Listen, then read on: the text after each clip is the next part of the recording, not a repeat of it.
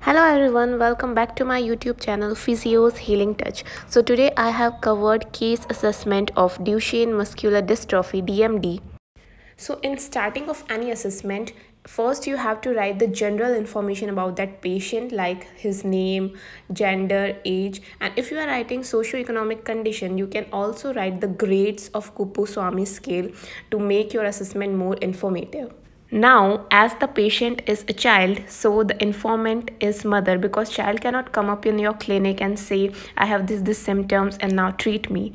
So this is the mother who was complaining about all those symptoms. So in chief complaints start as mother complains that or if there is adult patient then you can write patient complains that. And chief complaint will be always in patient's language. So it will be in layman words like difficulty in walking getting up from from the floor. But in the present history you have to write in medical terms and you have to give more detailed information about those symptoms now in past history you have to write is there any history of medical illnesses that is relevant to the present history? If it is not relevant then you can just write no relevant past history. In family history you have to see is there any family member who is also affected with the same disease?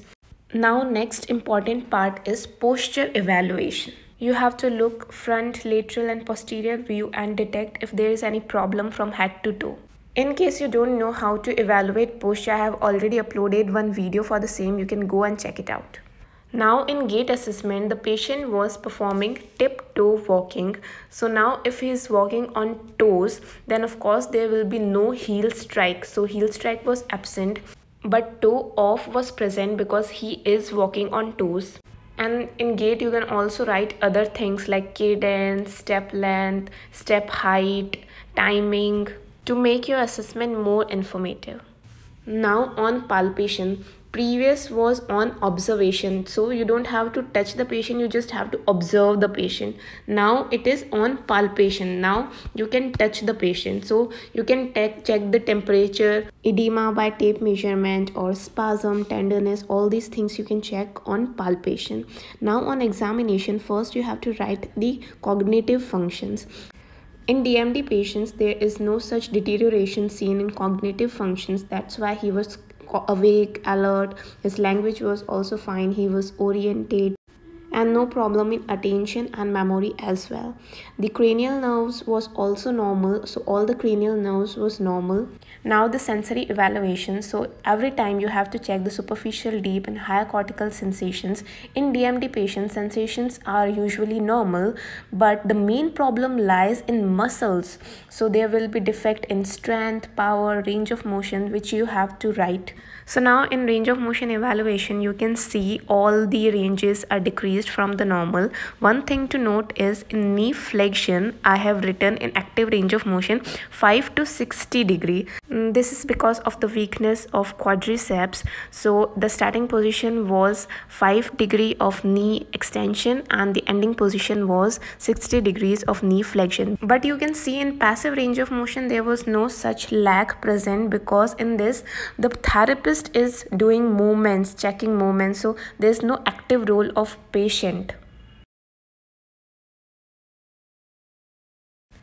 now the reflexes will be diminished and of course the MMT you have to take the MMT and it will be reduced because there is progressive muscle atrophy and weakness. So the grades of the MMT will be reduced now as there is atrophy going on so you have to check the girth because it is really important in DMD patients. So the girth will be reduced from normal. Now functional assessment. So North Star ambulatory assessment scale is so good assessment scale to assess the functions of the DMD patients. So whenever you are writing case assessment of DMD never forget to write the scale